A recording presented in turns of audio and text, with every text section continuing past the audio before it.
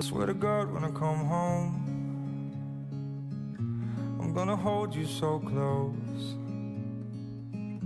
I swear to God when I come home I'll never let go. Like a river I flow To the ocean I know. You pull me close Guiding me home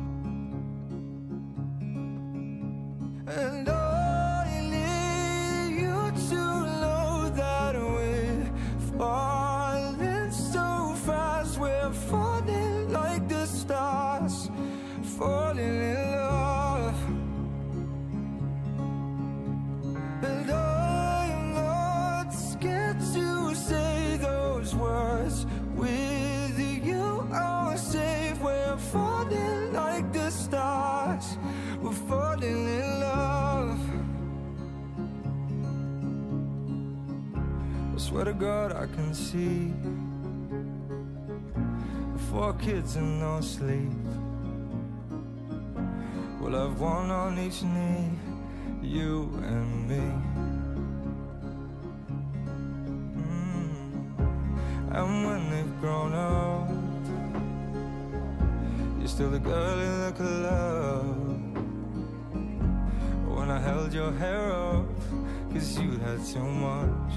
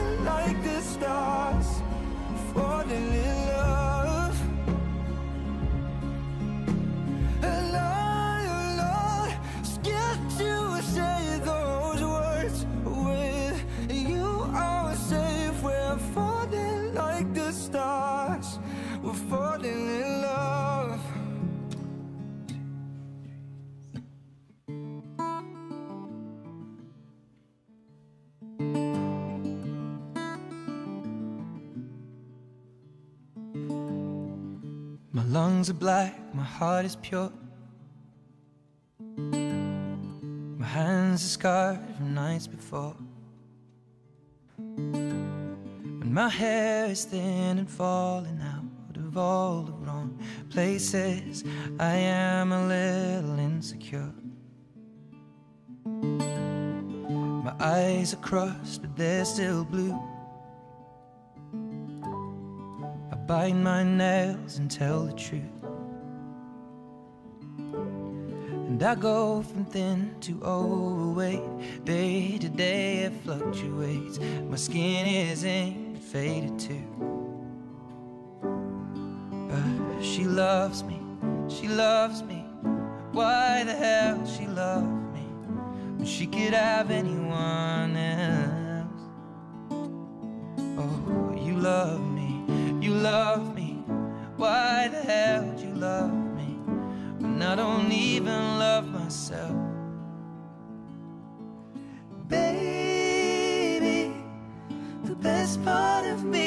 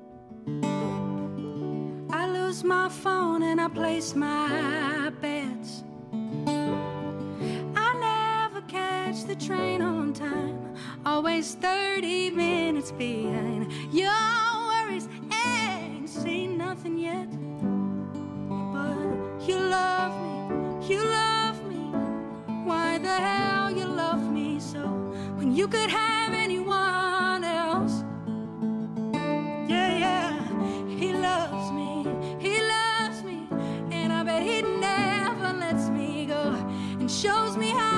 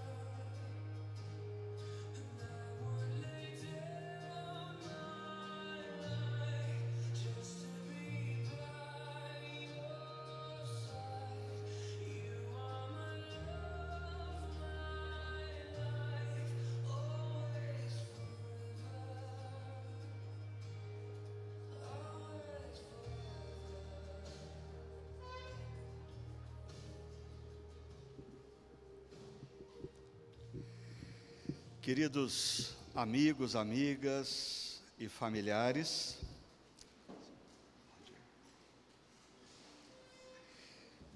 eu, eu, queria dizer que nós vamos ter uma cerimônia um pouquinho inusitada aqui.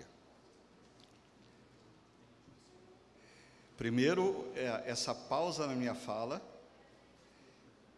é para que o Harrison possa participar da cerimônia.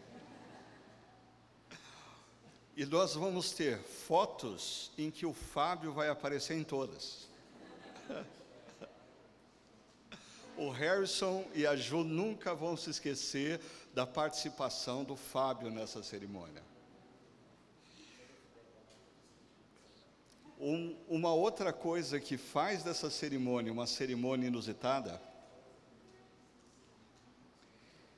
é o fato que, em tempos de Covid, parece que todos os casais que se casaram precisam de dose de reforço na bênção, né? Talvez seja a terceira, quarta, o terceiro, quarto casal que eu faço a segunda cerimônia num período de menos de um ano. Mas eu, eu queria deixar uma palavra muito breve para o Harrison, para a Ju e para todos vocês aqui. Eu costumo dizer que existem duas grandes decisões que nós precisamos tomar na vida. A primeira grande e importante decisão é para onde nós vamos. Qual é o nosso propósito maior na vida? Onde nós queremos chegar quando alcançarmos a idade da maturidade?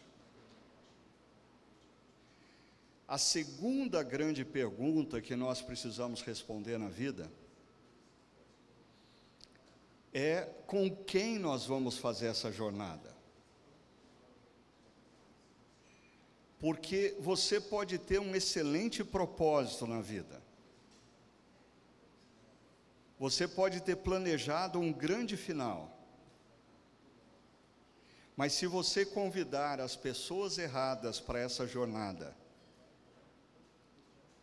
dificilmente você vai chegar aonde você planejou. Exemplo claro disso são, é, é quando nós planejamos viagens. Você, você planeja a viagem de férias dos seus sonhos. Você faz a reserva nos hotéis. Você cria os roteiros perfeitos. Mas você convida para ir junto o casal de amigos errado todas suas férias vão à ruína. Então, o, a primeira coisa que nós precisamos sempre ter em mente é qual é o propósito, onde nós queremos chegar. Segundo, é com quem nós vamos fazer essa jornada. E eu queria conversar um pouquinho com vocês e com o Harrison e com a Ju sobre essa segunda pergunta. Porque é interessante como o nosso Deus Criador, na sua imensa sabedoria, na primeira página da Bíblia, ah, diz que o ser humano tem um propósito, mas esse propósito não pode ser alcançado solitariamente. Deus diz claramente: não é bom que o homem, ser humano, esteja só. Nós precisamos de companhia idônea para essa jornada. E aí é nesse contexto da criação do universo e dos seres humanos que Deus estabelece em Gênesis 2, 24 e 25 a família. E eu queria chamar a atenção do Harrison, da Ju e de todos vocês ah, para o fato que nós vivemos numa cultura aonde muitas coisas vêm antes do que a família. Por exemplo, a vida profissional nos promete o que ela não tem para nos oferecer. E quantas pessoas têm deixado de lado a família, ah, seduzidos pelo projeto profissional. E no projeto da criação do universo, a família vem antes que o trabalho. O trabalho ainda não foi instituído, mas a família já foi instituída. E Gênesis 2, verso 24 diz assim: Por essa razão, o homem deixará pai e mãe e se unirá à sua mulher, e eles se tornarão uma só carne. O homem e sua mulher viviam nus e não sentiam vergonha. Eu quero falar rapidamente três coisas sobre esse texto e usando três palavras para que o Harrison e a Ju se lembrem ao longo da jornada dessas três palavras. A primeira palavra que eu quero usar é unidade. O centro desse verso é: e eles se tornarão uma só carne. Uma só carne, não apenas fisicamente, uma só carne emocionalmente, uma só carne espiritualmente, uma só carne existencial, existencialmente. Ju e Harrison, eu diria que muitos jovens casais da geração de vocês têm errado, se equivocado, começando uma relação aonde o casamento se torna uma sociedade entre duas pessoas com projetos completamente distintos. Isso não pode dar certo. O casamento não é uma sociedade entre pessoas com projetos distintos. O casamento é uma instituição de duas pessoas com um só projeto: formar uma família que glorifique a Deus. A formação familiar é a prioridade e a unidade dessa família. A segunda palavra, além de unidade, é a palavra intencionalidade. Agora eu coloquei o Fábio em apuros. A Jo pode ajudar, tá bom? Intencionalidade. Por quê? Ah, porque é muito bonito nós temos o conceito de unidade. Mas a unidade na vida de um casal não vem sem intencionalidade. O texto diz que o homem deixará pai e mãe e se unirá à sua mulher. São dois verbos que demandam movimento, implicam em deixar a zona de conforto e se mover na direção do outro. A construção da unidade num casamento não vem da noite para o dia e não vem sem esforço. Demanda intencionalidade. E mais uma vez, jovens casais muitas vezes investem muito tempo nos seus projetos pessoais, nos seus projetos profissionais, achando que o casamento vai se consolidar.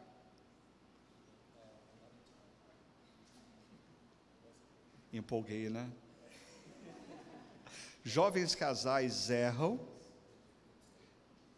ah, se dedicando intensamente aos seus projetos pessoais e profissionais achando que o casamento vai se consolidar por si só, sem esforço, sem intenção, sem tempo. Uma música da minha juventude, da juventude dos pais da Ju, de um compositor brasileiro chamado Moraes Moreira. Já dizia: o amor é como a flor que precisa de água, luz e calor para crescer, de emoção e alegria, e tem que regar todo dia. Intencionalidade. Unidade, intencionalidade e a terceira palavra, maturidade. O texto diz que o homem e a mulher estavam nus e é interessante a gente pensar que, na medida em um casal vive juntos, nós não nos desnudamos apenas fisicamente. À medida que os anos se passam, a gente se conhece muito bem. A gente não conhece só as virtudes do outro, a gente conhece as limitações do outro também. E a maturidade de um casal se revela quando a gente é capaz de celebrar as virtudes do outro e acolher as limitações do outro. Mas esse é um projeto de longo prazo. Começa por vocês definirem um propósito. O projeto principal na vida de vocês é a construção de uma família. O trabalho existe para a família, não é a família que existe para o trabalho. E se esse é o projeto de vocês, vocês precisam ter intencionalidade. E na medida em que vocês se dedicarem, ao longo dos anos, vai brotar a maturidade. A maturidade capaz de um olhar para o outro, celebrando as virtudes e acolhendo as limitações. Eu termino dizendo algo que a Ju sabe que eu sempre digo em toda cerimônia de casamento. Deus não nos criou para sermos felizes. Logo, o propósito do casamento não é nos fazer felizes. Muitos se frustram por causa da expressão cultural que diz: Eu vou me casar para ser feliz. Walter Trobit já afirmava: se você quer ser feliz, não se case. E o Harrison agora está pensando: por que, me deram esse conselho só agora? Né? Mas o Walter Trobit completa, dizendo: se você quer ser feliz, não se case. Mas se você quer fazer outro feliz, se case.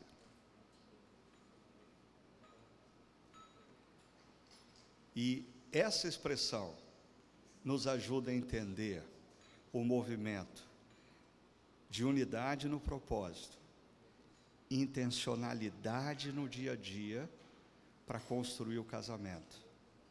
E o resultado final, a maturidade. Porque Deus não nos criou para a felicidade. Deus nos criou para aprendermos a amar. E não existe espaço melhor para se aprender a amar do que o casamento. E na medida em que a gente aprende a amar, a gente descobre a maturidade. Harrison e Jo, que Deus esteja com vocês nessa caminhada e que sempre esteja claro para vocês a unidade no propósito, a intencionalidade no dia a dia e que o resultado final seja a maturidade. Amém? Você não quer cantar ali não para o Harrison? Para mim?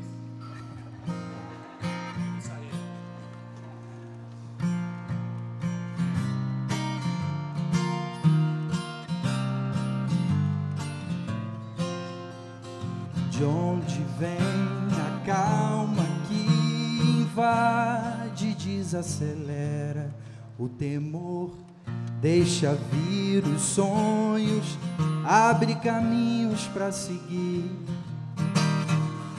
Se é tão longe, não precisa pressa, o vento é quem leva. E uma voz que soa dentro do peito diz que o amor lança fora o medo, me refaz e me faz sonhar de novo. Minha paz não é mais segredo invadiu meus dias mais sombrios, fez morada em mim. O amor.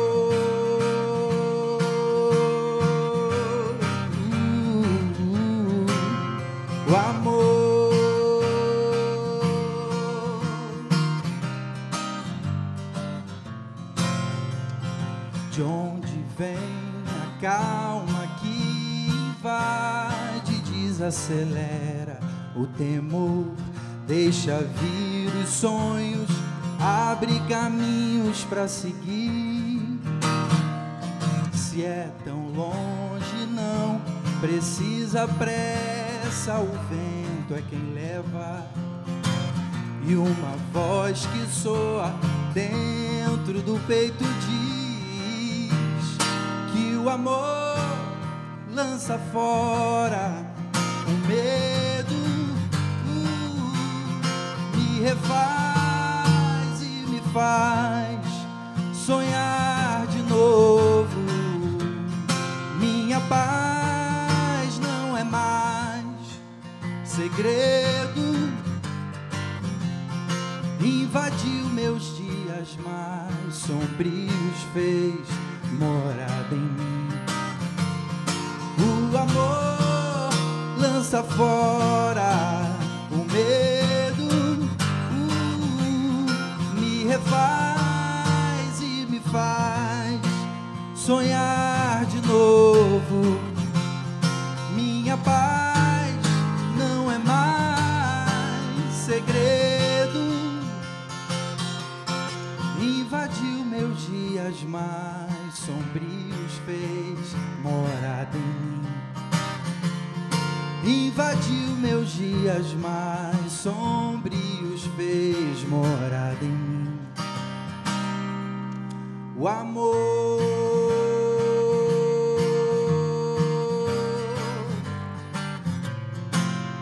o amor.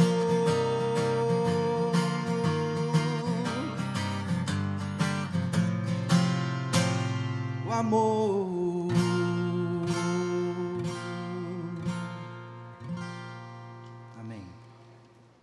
Creio que o Harrison não tem os familiares dele aqui. Mas nesse momento, sem qualquer constrangimento aos amigos aqui presentes, eu queria convidar todos aqueles que são familiares da Ju para ficarem em pé agora. Todos os que são familiares. E nós vamos fazer o seguinte: porque a Ju não teve a oportunidade de ter a bênção da família dela alguns meses atrás. Mas eu queria oferecer para ela a oportunidade dela ver a família dela abençoando essa união. Eu vou orar e no momento da bênção, eu convido todos os familiares a estender a sua mão na direção deles, abençoando essa união e dizendo para o Harrison e para a Ju: Nós abençoamos vocês, nós estamos com vocês. Vamos orar e no momento da bênção estenda a sua mão.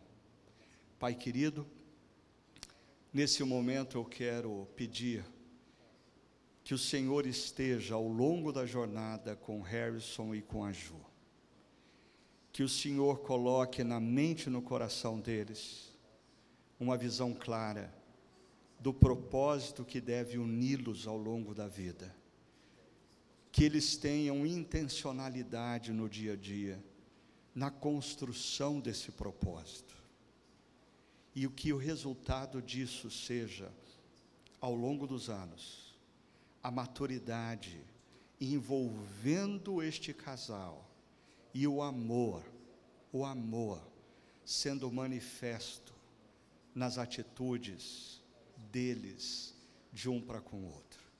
E nesse momento, Pai, nós rogamos a tua bênção sobre essa união. Que a graça do nosso Salvador e Senhor Jesus Cristo, que o amor eterno, imensurável do nosso Deus Pai, e que a consolação, o poder e a capacitação do Espírito Santo esteja sobre este casal, sobre essa família, hoje e para todo sempre. Amém. Deus os abençoe. Podem se assentar.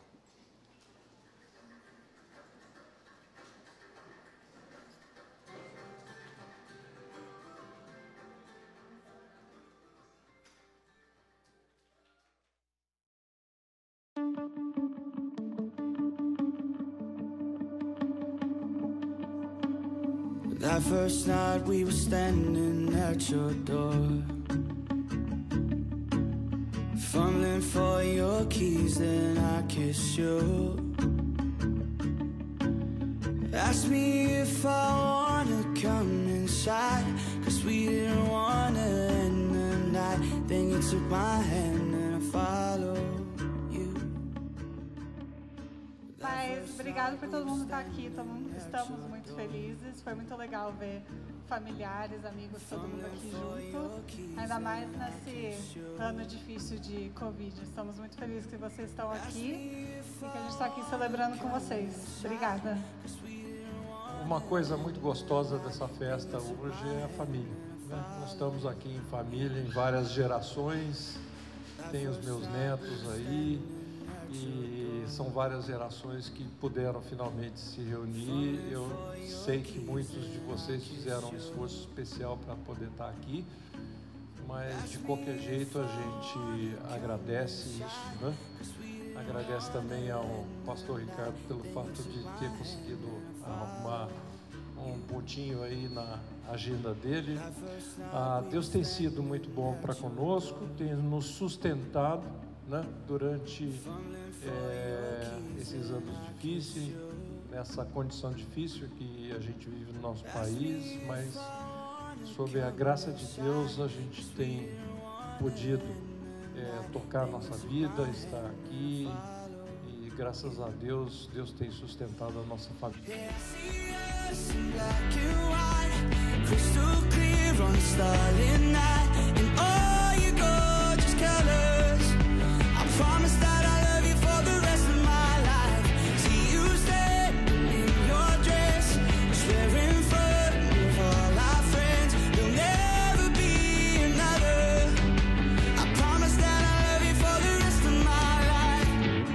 sitting here in your living room.